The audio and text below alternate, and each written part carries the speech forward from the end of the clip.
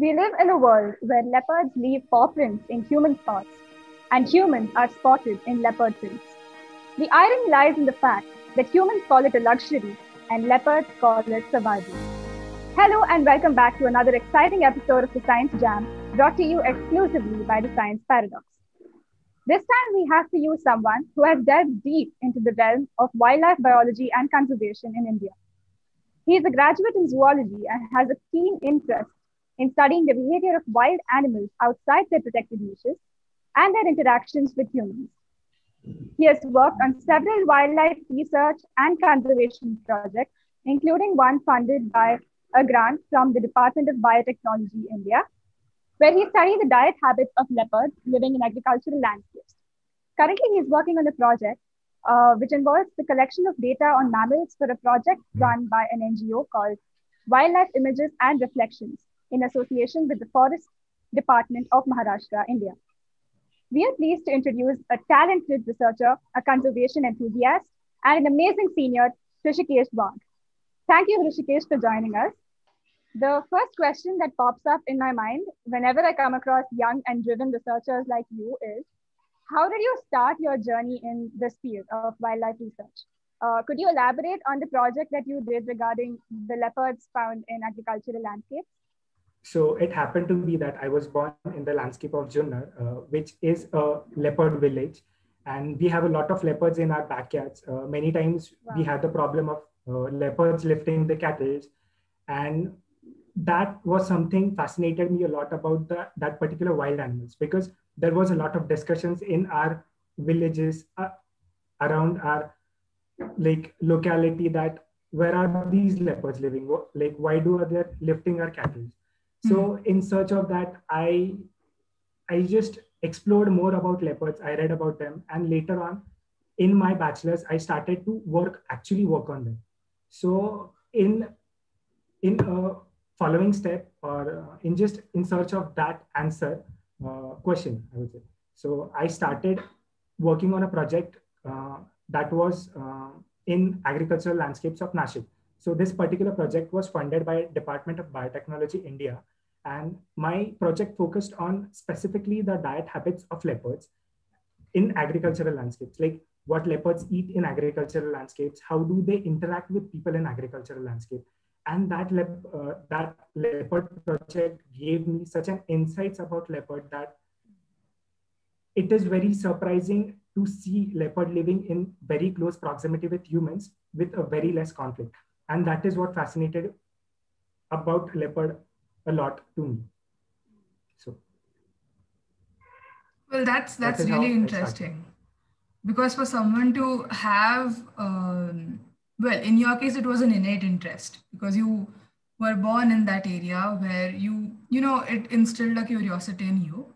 And it's actually really inspiring because you know there must have been other people other boys your age other girls your age in your school around you but then the fact that you decided to work towards it i mean if someone decides to work on a problem which is you know uh, around their locality or in their area observing all those problems and actually having an innate uh, curiosity towards it, it's amazing. But then, uh, you know, so again, I, I like uh, wild animals, I like um, nature. But say if I were a layman and if I wanted to, you know, distinguish between big cats, small cats, cats of all kinds. So again, we know that uh, leopards belong to the genus Panthera, and for them to for you to recognize them there are certain obviously you know morphological features. They have their other physical features and um, there are obviously a taxonomical hierarchy in which you can distinguish one so can you explain us uh, how a random person a layman would uh, learn to do this learn to classify them uh, okay so uh, first of all uh, leopard is one of the five extant species in the genus of Panthera. So, mm. you know, there are uh, different species of panther, like Panthera tigris, that is tiger, Panthera leo, that is lion. Mm. So, uh, this Panthera pardus, leopard, mm. falls uh, in the member of Felidae, that is cat family. Yeah, and okay. initially, uh, in the in late or early 90s, there were a lot of classification of leopards. So, hmm. according to Linnaeus, there were about 27 subspecies of leopards found by him. But wow. uh, to go in more scientific detail, only nine of them were classified as individual proper subspecies. Okay. So, how to identify them for in a layman's perspective, I would say. Hmm. So, these animals uh, were classified on the basis of locality and their phenotypical traits. Uh, so, for example, the African leopard. So, African leopard is a subspecies of leopard that is only found in African continent. Uh, right. Second is Arabian leopard, that is in and around Arabia. And the phenotypic uh, or genotypically, when scientists study them, they go much into details like their fur coat. The African leopard is having a tawny or more of a uh, dark, dark fur coat or color of the coat. And the right. Arabian leopard, Arabian leopard is the smallest subspecies of leopards. Okay. It is a tiny leopard, we can say, not mm. very tiny, but amongst the all nine leopards, this mm. is the smallest leopard. And okay. its fur coat is about like deep golden color. And wow. to give another example is Amur leopard. Everyone might mm. know, like they mm. have yeah. about Siberian tigers. There are yes. even uh, leopards living in snow. So these yeah. particular leopards have adapted so well that their fur coats are thick to protect them from the, the winters mm. the, yeah. and snow and the cold. So these are how these animals adapted according to the different localities mm. and the phenotypic traits become highlighted and for a layman, we can identify on these simple basis of factors we can say. Okay. And I'll add add more like uh, even there are many questions by people that uh, we if we see a leopard, how we identify a leopard individually. So hmm. as we have yeah. our diff- fingerprints, so every person's fingerprint is different. So does leopard's spots are. Leopard right. spots are called rosettes. So every leopard is having a different uh, rosette pattern. And on that hmm. basis, we can identify every individual leopard. Hmm. Right. Wow. I think that's where the saying comes from uh, leopards cannot change their spots. Oh, yeah. Yes. Yeah. Yeah. Yeah but it's it's exciting right like the way we have our own exactly. fingerprints fingerprints leopards yeah. have their own spots like it's individual spots. it's individually different it's, it's very interesting but again coming back to the project that you have worked on um, so you mentioned that you worked on the dietary um, uh, aspect of the leopard and obviously the leopard human relationship and how they how do they survive or how do they um, uh, coexist. So um, my next question would be, uh, what is the reason for the leopards being so adaptable in terms of their prey, first of all? And second of all, uh, how do they meet their metabolic needs if they consume more of uh, smaller domestic prey? Okay.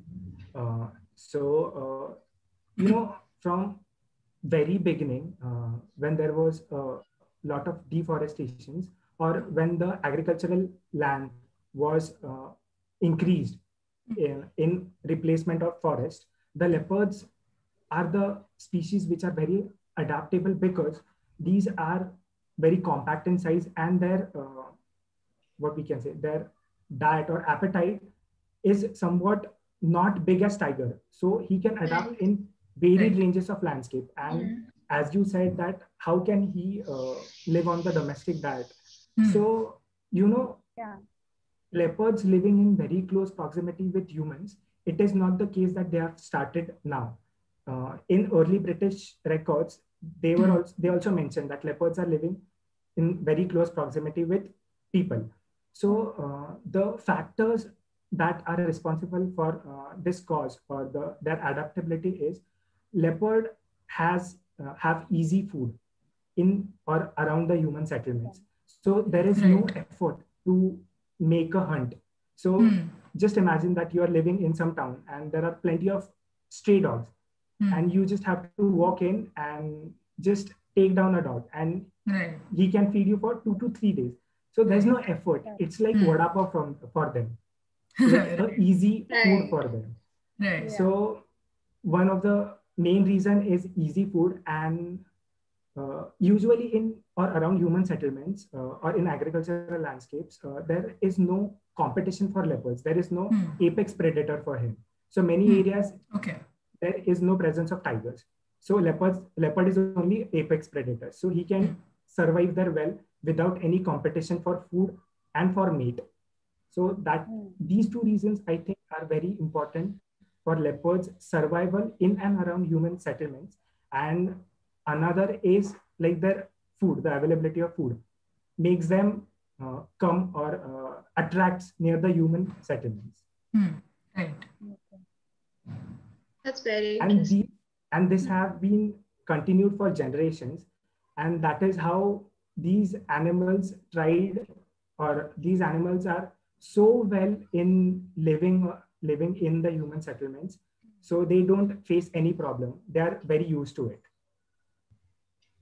So they have adopted basically. Leopards are a rarity there. Mm. Yeah. Yeah. And even like farmers who uh, have their own fields where leopards are usually found, they're also quite used to finding leopards around. And they don't think of it as a very big mm. deal. Mm. Unless, of course, it starts attacking the livestock. But otherwise, it's a very usual thing, I think, for them. Yes. And I'll add bit. Uh, I'll add a small point. Uh, so you know, leopards. The leopard is having a very small gestation period, about three to four months, unlike our house cat. Mm. So when oh when leopards breed uh, in such landscapes, uh, the success rate of their litter getting raised is maximum. And that is what mm-hmm. booms the population of leopards oh. in landscapes okay. where, is, where there is no competition for leopards. That's, right. that's interesting. That's interesting. That's yeah. Interesting. I mean, that's completely smart. opposite I mean, to tigers, actually. Yeah. yeah. Yeah. So basically, their survival rate is quite nice. I mean, it's uh, mm. one of the main reasons why it's why there isn't uh, a highly advertised uh, Project Leopard, I guess. Project Leopard. yeah. Uh, yeah. And even like while my studies, I found that uh, leopards have a diverse diet from like a small mouse to a mm. dog in hmm. human mm. landscapes. Mm. Like from they have such a diverse diets that can surprise you. Even I saw that uh, leopards do eat some bird species. Wow. Like the wow. hens which are around their houses, the people mm. living in villages. Mm-hmm. So it consists of many different varieties of diets. It all consists of domestic as well as wild. Uh, and that is what my though. study found out. How did yes. you find out that the leopards eat this uh, particular thing? How did you find out what it is? Yeah. Okay, uh, so uh, the method which I used was scat analysis. Hmm. When leopard poops, uh, there. Uh, so I'll just start from the basic technique and how I did started. Hmm. So um, when leopards poop, uh, the the scat or the poop is having a lot of hair samples, which le- when leopard hunts its prey, he he just licks the yeah yeah he licks the animal and that that that what we can say that hair samples uh, are ingested hmm. while eating also while eating the meat yeah. and that appears in its poop so what i did i collected its poop i uh, i separated some hair samples and as we know uh, that hair hair samples unlike every individual species like like of dog the hair sample is different of hmm. uh, rabbit the hair sample is different so every individual animal is having different hair samples and how i did identify that was uh, our hair is having a protein material called keratin mm. keratin so also in hair we have uh, like cortex and medulla. That is uh, right. the inner part and the outer part. So every animal is having different cortex and medulla patterns. And on that basis, I uh, did uh, microscopy for that. And mm. from that, I learned that every individual animal, what he ate, and I recorded it. And after that, I got to know oh, that, that wow. is how really this leopard is eating. Really extensive. Mm-hmm. Very interesting. So we'll come to our next question. So as you spoke about the SCAT analysis, which is the feces analysis. So in identifying the prey of the leopard, can you also identify if the prey has some form of microplastic or if the prey had previously ingested some form of plastic? Because we know how biomagnification works. And so when these cattle or these prey have microplastics or plastics in their systems so from a conservation perspective how does that affect the food chain and how does that affect the leopard uh, did you do any research or did you read about anything like that? Uh, so there's a very basic concept like when leopard hunts the prey it removes its gut. So what whatever its prey species is eating that okay. is not eaten up by leopard. So it throws away its gut. And the meat portion is only eaten by the leopard. So the plastics oh. in particular is not affecting the animals. Mm-hmm. Like in particular oh. we are talking mm. about leopards okay interesting and is this the same for other feline cats or uh, this is just for leopards? No, even tiger throws the gut away because gut oh, is having all semi-digested material. Right, that is right, also right, very stinky and that is not preferred by these cats while eating the meat. Mm-hmm. Oh, okay. so they're choosy and smart. yeah. yeah. yeah the assumption which we have about feline feline cats is that they're really secretive. For hmm. example, tigers are extremely secretive. You won't generally spot tigers that easily, and they live in really dense uh, jungle areas. As opposed to that, leopards have this behavior behavioral instinct of roaming about so freely in the open and recently some encounters have really intrigued us. For example, a leopard was found playing with villagers in the area of Kullu. And on another hmm. instant, a leopard just walked onto a highway and it just sat there out in the open like that. So, um, do you have any explanation for this kind of behavior of leopards? How they are so um, unafraid or how they are so free to roam around in the open like that? Uh, so yes, so you know there are many factors uh, for this particular question. So you know leopards are bold and shy at the same time. It's all about individuality. Like there are different personalities of, of leopards, like like of humans. So we while uh, studying, we have also found some leopards that are very shy and some of them are very bold. So uh, I'm saying this because it depends on their individual personality. Some of the leopards are very bold and they don't hesitate to walk in front of people boldly. And some, at the same time, some of them are very shy. If they just uh, get to know that you're approaching them by like any means, so they they'll just disappear. They're like shadow of the forest. It is also mentioned in Jim Corbett's yeah. book that leopards yeah. are called shadow of the forest. forest. You don't even know that where they were and where they are now. So they are very, very Correct shy, we can say, but there are some examples where they are living with close proximity with humans mm. and they have got used to it. And in in response to that they are bec- they are being cool about it i would say. So it's more like an evolutionary adaptation for them that they have just coexisted with humans for so long so now they're unafraid. Yes we can okay I mean, I think we can actually be sure, not sure, but at least kind of speculate that it can be or it is an evolutionary adap- adaptation because even in the news article about the uh, leopard who was, you know, seen playing around with the villagers, there also they've mentioned that that leopard was subadult, right? So yes, yes. a small, I mean, not small, but I'm I'm I'm sure that leopard must have just, uh, you know, juvenile uh, maybe. yeah parted away yeah. with his mother or with her mother with his mother. I don't know the gender unfortunately. And um, so for someone for a small leopard who's just parted away from its mother it's a huge thing right? Just to go ahead and play with villagers. It's interesting. It's Correct. weird peculiar. But yeah i mean this makes sense. Or it could have just been another adventurous uh, leopard cub Yeah, like Hrishikesh said, there some of them are bold, some Personality. yeah. yeah. yeah. That's that's interesting. You know, that's so interesting. And there is also like when you study leopards, you also get to know that they are very keen in knowing things. They're very exploring, we can say. Mm. So many leopards, uh, like through study, we found that they are very, very keen to know new things mm. in their surroundings. Mm-hmm. So they they visit that particular place, explore it, and that is what I have learned a bit from my past experiences.